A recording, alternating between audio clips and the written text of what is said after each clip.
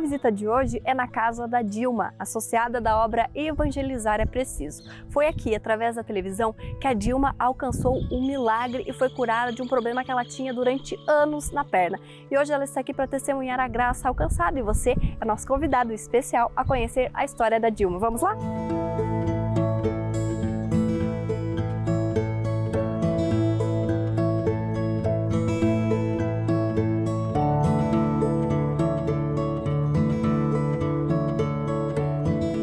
Acho excelente, é muito bom. Graças a essa obra que eu fui curada, né? Recebi uma grande graça. Qual foi a graça? A graça é que eu tinha uma dor na perna muito grande, uma dor na perna, sempre no encaixe da perna. E estava me incomodando muito. Fui no médico, tomei medicamentos fortes. É, até cheguei a tomar um, um, um comprimido que tinha, continha até morfina. E me atacou depressão.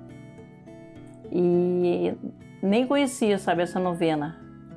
Aí liguei a televisão, estava passando, né, a novena, graças a Deus, né, por Deus, tudo que acontece na vida da gente é por Deus, pela fé.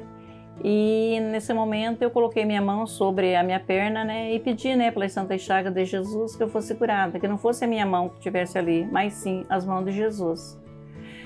E rezei com a mão ali, como não fosse a minha, né, fosse a de Jesus mesmo.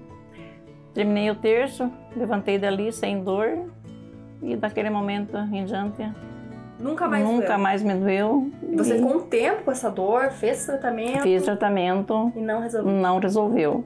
Dilma, você alcançou essa graça, a cura, né, do seu problema de saúde.